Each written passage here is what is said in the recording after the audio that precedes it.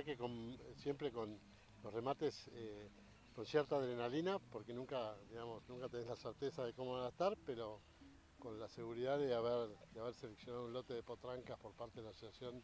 eh, muy buenos, de, buena genética, de buenos, eh, buenos desarrollos, lindas potrancas y variedad de varios criadores, o sea que creo que, creo que va a ser un buen remate. Este año eh, no solo fui yo a reaccionar ejemplares, sino también fuimos con Santiago Ballester y con Diego Lafuente a ver caballos, o sea que ellos eh, colaboraron también en la selección, bien, eh, y eso,